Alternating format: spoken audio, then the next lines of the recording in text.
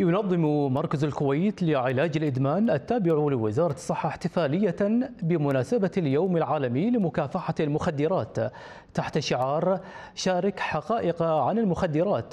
قم بإنقاذ الأرواح والذي أطلقته منظمة الأمم المتحدة بهدف التوعية ضد المخدرات والحد من خطورتها وآثارها السلبية.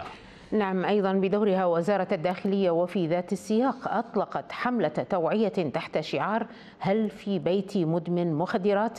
يهدف هذا هذه الحملة لتثقيف المجتمع لكيفية التعرف على مدمن ومتعاطي المخدرات والتعامل الصحيح معه. في بيتي مدمن شعار اليوم العالمي لمكافحة المخدرات والحملة التوعوية وياك بالتعاون ما بين وزارة الصحة ووزارة الداخلية. هذا اليوم العالمي هو يوم مهم جدا بالنسبة لنا في مركز علاج الإدمان لقضية مهمة جدا.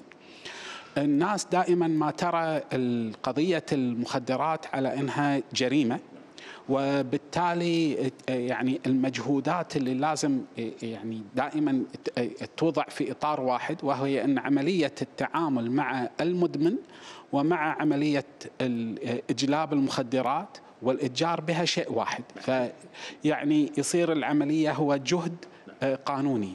الدولة متمثلة بوزارة الصحة تقوم بجهود مثمرة بتقديم كافة الخدمات وأفضل العلاجات لمدمني المخدرات من خلال مركز حكومي هو مركز علاج الإدمان.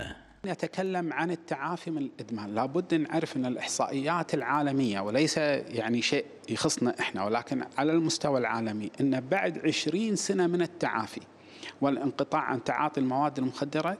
بعد 20 سنة هناك فرصة 5% للعودة إلى تعاطي المخدرات مرة أخرى. وهذا بس يدلل على صعوبة العملية التعافي من الإدمان. ولذلك كل المتعافين عندهم شعار هو لليوم فقط. شنو أقصد أنا باليوم فقط؟ أنا كل يوم الصبح راح أقوم أخذ قرار بأني اليوم لن أتعاطى المخدرات. دشيت مركز علاج الإدمان الصراحة كنت في حالة حرجة طبعا من الأعراض الانسحابية اللي كان فيني. وحصلت احتواء مو طبيعي الصراحة بمركز علاج الإدمان الكل احتواني والكل ساعدني. يعني آه، خاصة يعني مدير مركز الإدمان الدكتور عادل الزايد هو مو مقصر الأب الروحي لنا الصراحة. مع الفريق العلاجي اللي موجود الكادر الطبي اللي موجود كلهم مو مقصرين مع أي مدمن يبي يتعافى أو يجرب إنه يتعافى. 43 سنة أتعاطى أنا.